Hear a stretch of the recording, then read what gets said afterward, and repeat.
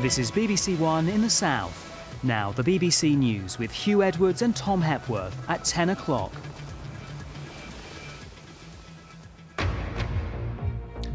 Tonight at 10, five party leaders in the latest campaign debate with Labour and the SNP at loggerheads.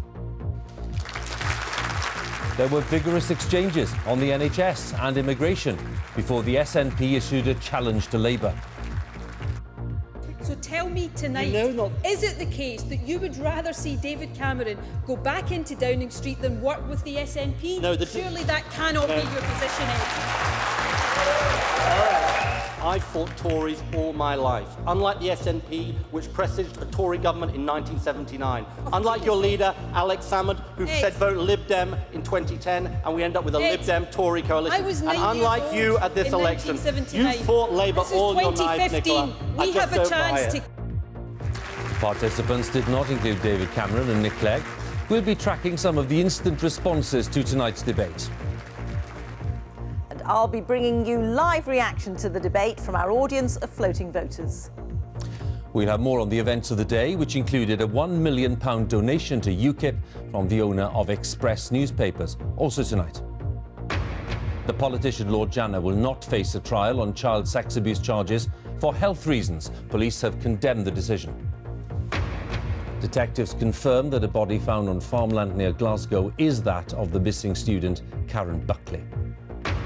And as some migrants are rescued from the Mediterranean, reports that more have drowned crossing from North Africa.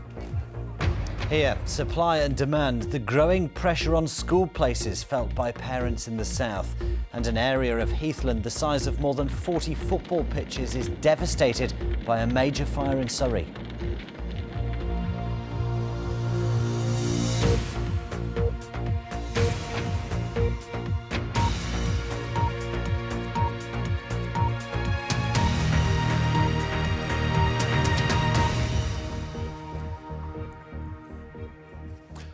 Good evening. Five party leaders have taken part in the BBC's election debate this evening at Westminster. Some of the most vigorous exchanges were on the issues of immigration and the economy, but there was evident tension between Labour and the Scottish National Party when Nicola Sturgeon challenged Ed Miliband to work together to keep David Cameron and the Conservatives out of Downing Street. Mr Cameron, who didn't take part, was accused by opponents of choosing not to defend his record in government. Our deputy political editor, James Landale, was following the exchanges.